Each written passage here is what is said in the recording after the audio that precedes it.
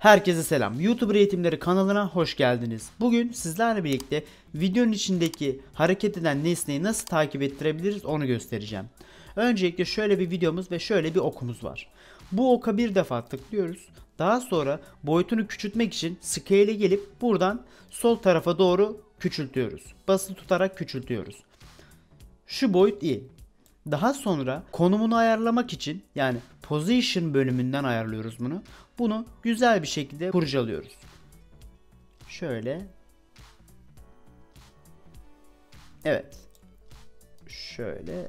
Tamam. Biraz daha geri çektik mi? Evet. Daha sonra ben tam buradan başlamasını istiyorum. Hatta biraz daha geri çekelim. Evet. Bu saat simgesine bir defa tik atıp onaylıyorum.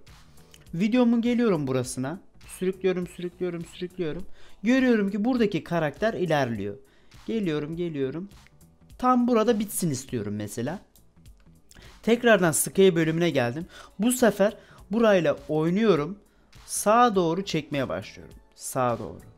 Çekiyorum, çekiyorum, çekiyorum. Burada tam biteceği için burada bıraktım. Gelin hep beraber izleyelim. Gördüğünüz üzere okumuz e, hareket eden nesneyi takip ediyor.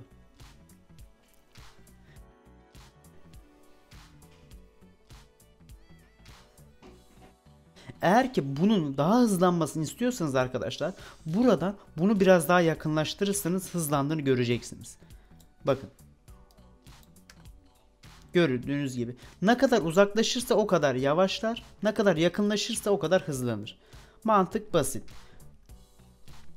Umarım video hoşunuza gitmiştir. Videoyu beğendiyseniz kanalıma abone olmayı, bildirimleri açmayı ve beğenmeyi unutmayın. Bir sonraki videoda görüşmek üzere. Hoşçakalın. Bay bay.